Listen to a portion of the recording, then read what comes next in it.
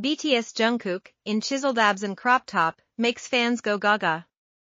BTS member Jungkook's new advertisement for luxury brand Calvin Klein has taken social media by storm. Photographs from the campaign have already been displayed on brand stores and fans have gone gaga over his stunning looks.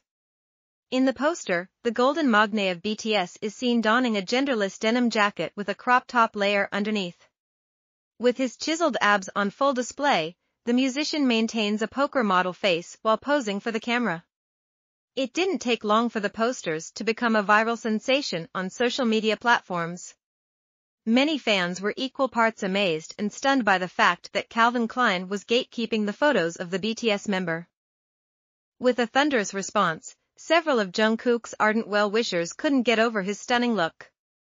A fan commented, I thought I had reached my limit with Calvin Klein times Jungkook round 1 and 2. But this this wears my sanity.